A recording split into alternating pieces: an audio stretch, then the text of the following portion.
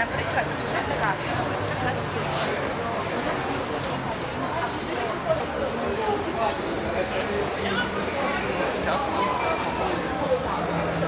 В данный момент на этом прекрасном книжном фестивале кольцо неофициально. Как обычный простой посетитель, который хочет посмотреть предложения новой литературы, пообщаться с создателями, увидеть хороших, добрых, приятных людей. Поэтому, просто пользуясь сегодня случаем, э, хотелось бы выразить благодарность организаторам, всем участникам, которые пришли, всем гостям города.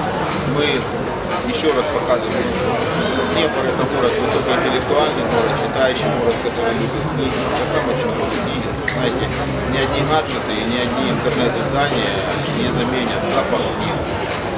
Що ви бачите? Отут і отут не знали про Віктора, буде можливість.